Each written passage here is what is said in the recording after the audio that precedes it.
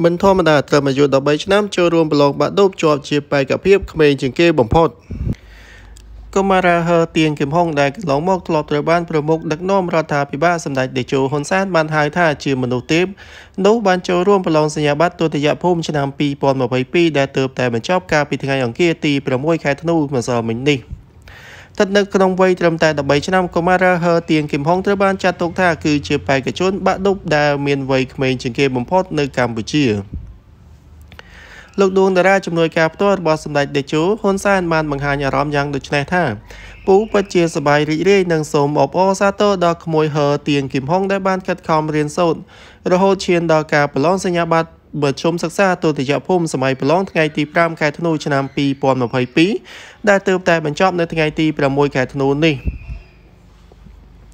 ផ្អែកលើសមត្ថភាពដ៏ពិសេសពូសង្ឃឹមថាក្មួយនឹងប្រឡងជាប់ជាក់ជាមិនខាន។ បន្ថែមលើពីនេះលោកដួងតារាបានសរសេរសារបង្ហោះលើបណ្ដាញសង្គម Facebook នៅរាត្រីថ្ងៃទី6ខែធ្នូបង្ហាញការអរគុណដល់ឯកឧត្តមបណ្ឌិតលីឆេងអគ្គនាយក Belty Group និងជាសកលវិទ្យាធិការនៃសាកលវិទ្យាល័យ Belty អន្តរជាតិដែលបានផ្ដល់អាហារូបករណ៍ដល់ក្មួយឲ្យទទួលបានការសិក្សានៅសាលា Belty អន្តរជាតិរហូតមកដល់ពេលនេះ។ និងសូមអរគុណដល់លោកគ្រូអ្នកគ្រូដែលបានយកចិត្តទុកដាក់អប់រំបង្ហាត់បង្រៀនក្មួយហុងឲ្យក្លាយជាកូនសិស្សល្អប្រកបដោយសមត្ថភាពខ្ពស់ខ្ញុំបាទសូមគោរពអរគុណសម្ដេចតេជោនាយករដ្ឋមន្ត្រីនៃប្រជាណាចក្រកម្ពុជាដែលបានទំនុកបម្រុងឧបត្ថម្ភជំរកស្នាក់នៅព្រមទាំងថវិកាឧបត្ថម្ភដល់ការសិក្សារបស់ក្មួយគឹមហុងនិងក្រុមគ្រួសារនៅក្នុងរាជធានីភ្នំពេញ។ នេះគឺជាការលើកឡើងរបស់លោកដួងតារាដោយលោកបានបន្តទៀតថាពូមានជំនឿនិងសង្ឃឹមយ៉ាងមុតមមលើសមត្ថភាពរបស់ក្មួយគឹមហុង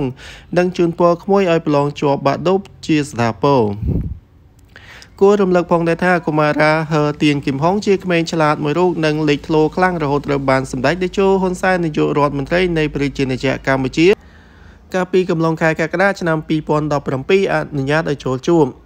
កាលនោះនៅក្នុងជំនួបគឺមានកុមារាហឺទៀងគឹមហុងក្រុមគ្រួសារកុមារលោកគ្រូអ្នកគ្រូទាំងពីររូបនិងសម្ដេចផ្ទាល់ក្រៅពីជំនួបប្រមាណជា2ម៉ោងនៅក្នុងភូមិគ្រឹះសម្ដេចតេជោហ៊ុនសែនជាមួយនឹងការសាកល្បងផ្ទាល់ពីសម្ដេចនាយករដ្ឋមន្ត្រីផងនោះសម្ដេចបានកោតសរសើរពីសមត្ថភាពរបស់កុមារាហឺទៀងគឹមហុងនិងបានហៅកុមារាគឹមហុងថាគឺជាមនុស្សទេពហើយប្រហែលជាមិនមានមនុស្សពិសេសបែបនេះទេនៅលើពិភពលោកនេះ។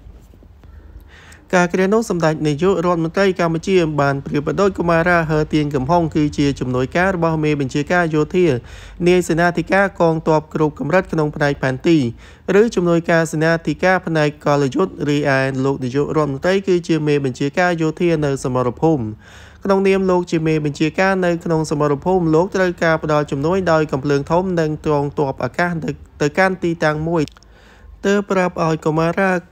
គឹមហុងរកគោលដៅនិងចម្ងាយគ្រាន់តែបែរមកនិយាយជាមួយនឹងឪពុកម្ដាយរបស់គឹមហុងមិនបានប្រមាណម៉ាត់ផងគឹមហុងក៏បានរកឃើញរួចស្រេចទៅហើយការរកឃើញចំណុចទីតាំងនិងចម្ងាយនៅលើផែនទីក្នុងរយៈពេលដ៏ខ្លីតាមរយៈកុំព្យូទ័ររបស់ចៅបានធ្វើឲ្យសម្ដេចតេជោហ៊ុនសែនភ្ញាក់ផ្អើលនិងនឹកស្មានមិនដល់